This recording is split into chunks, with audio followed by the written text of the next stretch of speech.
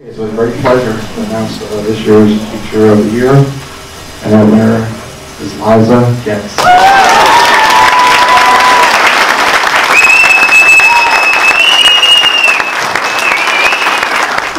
Liza is a graduate of Delaware Valley College and Wilmington University.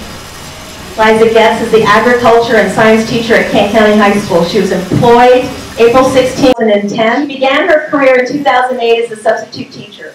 She does not describe herself as someone who desired to become a teacher. Rather, the rewarding experience she gained while she was a Girl Scout leader and Sunday school teacher drove her to interest towards pursuing education.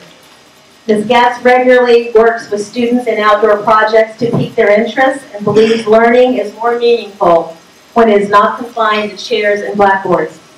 Her unconventional and successful teaching methods are evident through the accomplishments of her students. Ms. Goetz believes one of the most powerful things an educator can do is build rapport with students, allowing them to feel safe and openly communicate. Her favorite part of the day is watching her students in those magical aha moments.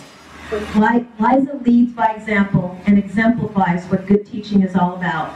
Please join me in recognizing Liza Goetz as the 2015-16 Teacher of the Year for Kent County Public Schools.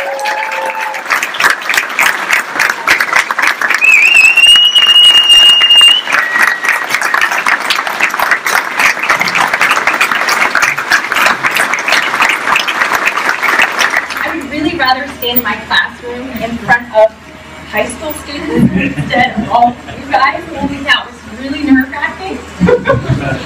um, and today, I was in boots and um, um, I, you know, regular clothes with shovels and rakes and very muddy.